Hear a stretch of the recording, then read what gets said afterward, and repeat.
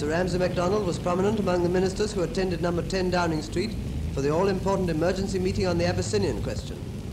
Mr. Anthony Eden, leaving the Foreign Office for the same objective, was another who aroused interest and speculation, and he was followed by Lord Hailsham, Mr. J.H. Thomas and Mr. Malcolm MacDonald, Sir John Simon, the Home Secretary, and Sir Samuel Hoare, the Foreign Secretary. The decision arrived at was to support the League Covenant, that is, to interfere between Italy and Abyssinia if required to do so by the League. Having reached this decision, the ministers resumed their holiday.